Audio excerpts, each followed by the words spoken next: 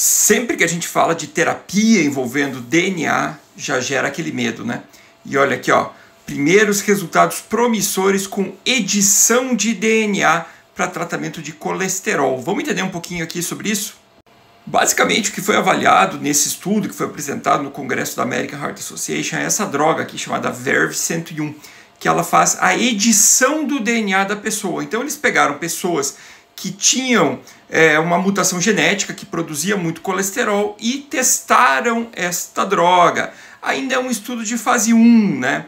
Ele foi testado primeiramente lá em primatas, neste estudo que vai aparecer agora, esse estudo aqui, e agora foi publicado o resultado em humanos, demonstrando algo promissor. Mas ainda poucos pacientes e ainda muito a ser explorado. O que, que vocês acham disso? Vocês têm medo dessa tecnologia futura ou vocês acham que não? Que isso aí é o futuro e vai ser bom para a humanidade?